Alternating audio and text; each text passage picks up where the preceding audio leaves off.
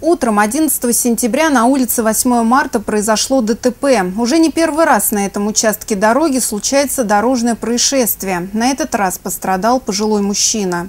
Автомобиль ВАЗ-2104 двигался со стороны центра города к стадиону «Спартак». В попутном направлении по краю дороги шел пожилой мужчина. Как водитель «четверки» его не заметил, сотрудникам ГАИ только предстоит выяснить. Но в результате невнимательности пострадал пешеход. А сегодня в 9 часов 40 минут на улице 8 марта произошел наезд на пешехода. Молодой человек 1983 года рождения управляет транспортным средством ВАЗ-2104, не имея при этом права управления транспортным средством, выезжая из кафе «Три семерки», «семерки» допустил наезд на пешехода, мужчину 1948 года рождения. Не имея водительского удостоверения, молодой человек все равно сел за руль. И не имея навыков вождения, не просто сбил пожилого мужчину, но и прижал его к стоящему на обочине КАМАЗу. С многочисленными травмами он был немедленно госпитализирован. На данный момент проводится расследование, в завершении которого будет известна ответственность, которая ждет виновного. Пострадавший мужчина жив, но травмы получил серьезные. Открытый перелом правого бедра, ушиблена рваная рана левой нижней конечности, травматическая ампутация пальца на ноге. Сейчас он находится в Тамбовской городской больнице.